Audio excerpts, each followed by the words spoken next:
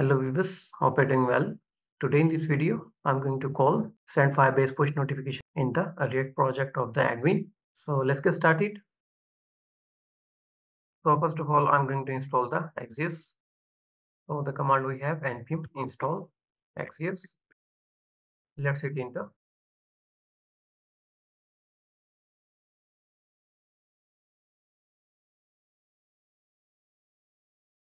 As you can see, Axios installed successfully. After this, I'm going to install React Toastify.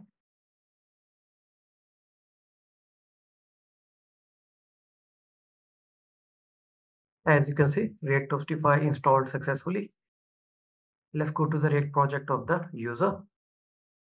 From the index.js, I'm going to copy this import that we have, React Toastify. Let's go back to the React project of the admin let me add inside the index.js. Now after this, I'm going to add here the try and the catch block. The catch block will catch an exception in case of API failing. So we have to catch here the error and here I'm going to add the console.error to print the error message. After the catch block, I'm going to add here the finally block where we have to set the loading false.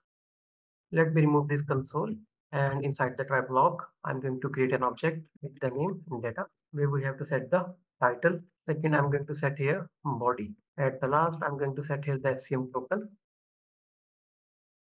After this, I'm going to call the Axios and the mapping we have post. Inside the quotes, I'm going to add the URL of the endpoint. So let's navigate to the postman. Let me copy this URL. Let me add inside the quotes. After this, we have to pass here the that object where we have a title body and the FCM token.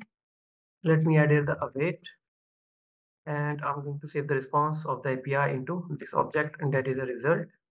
After this, I'm going to add the console.log to print the result into the console.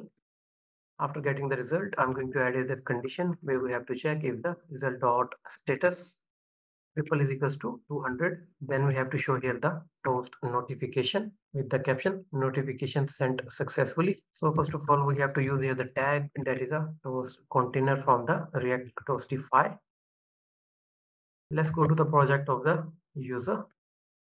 And i'm going to copy this. Let me add inside the if block. And here i'm going to write the caption of the notification. That is a notification sent successfully let me import the toast from the React Toastify. And here I'm going to add the else block where we have to show error toast with the caption failed to send a notification. And it will be a dot success. Now let's navigate to the browser. Let's fill the form like the title, Firebase, body we have hello from body and the same token. Let me get from here just click on the send button. Let me check why it's not working. Let me open it the inspect. Let's go to the network tab. Okay so we are getting here the error with the CORS. Let's go to the node.js application. Let me open here the new terminal and here i'm going to write the command to install the CORS.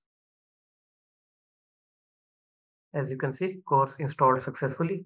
Now i'm going to import the CORS so we have to use the CORS inside the app.use.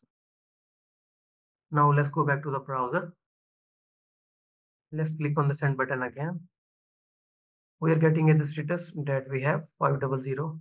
Let me check what is the issue. Okay, so we have to pass here the title body and the device token, not the FCM token. Let me update the variable name that we have device token. Let's go back to the browser. Let's click on the send button again. As you can see, we are getting the notifications.